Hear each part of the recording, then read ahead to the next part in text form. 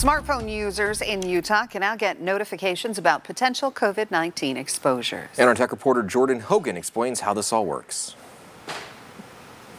COVID 19 exposure notifications are now available on Apple and Android devices. It's a form of digital contact tracing that uses Bluetooth to broadcast a random set of numbers to nearby smartphones that are also signed up to the service. If someone tests positive for COVID 19, they enter a PIN code sent to them by the Utah Department of Health. Any smartphones that exchanged random numbers within the last 14 days will get a notification that they may have been exposed to COVID 19 without revealing the positive person's identity. It actually works off of a signal strength. So we're looking at uh, six feet 15 minutes consecutive time and that that range bluetooth is very successful in, in determining distance. To activate this on an apple device go to settings scroll down to exposure notifications and select turn on exposure notifications. Then follow the setup process from there. For android devices you download the ut exposure notifications app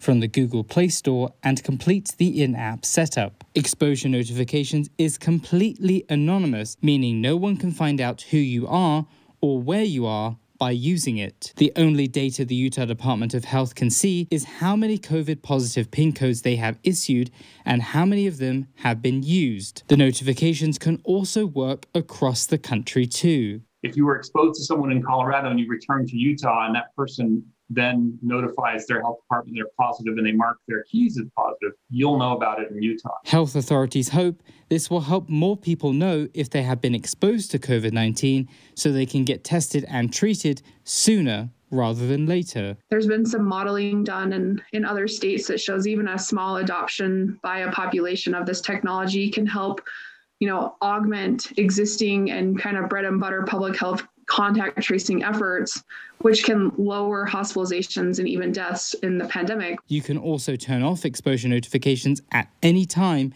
if you feel it's something that isn't right for you.